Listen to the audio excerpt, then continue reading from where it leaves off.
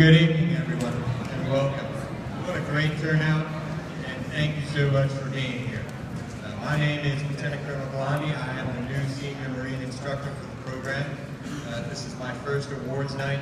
What an impressive turnout. Thank you again. Uh, first, I would like to introduce some of our special guests. Mr. Mayor. Mr. Mayor, thank you for being here, sir. Judge Jen, ma'am, thank you very much for uh, honoring us tonight. The Assistant Chief of Police, sir, thank you for being here. Our District Superintendent, Dr. Weigel, sir, thank you. Dr. Gudek, ma'am, thank you very much.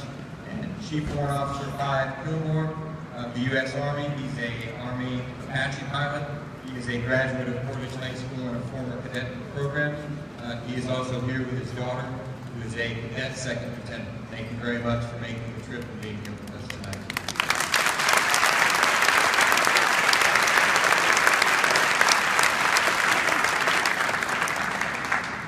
Uh, the cadets have come to learn the high value brevity, so we are, I will keep my remarks short tonight.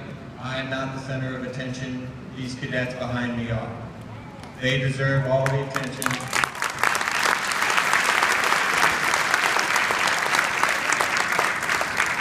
Our admiration and our respect for being part of this program.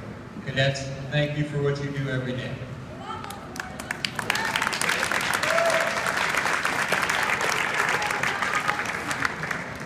note, I'd like to turn it over to the mayor for a few remarks. Mr. Mayor, sir.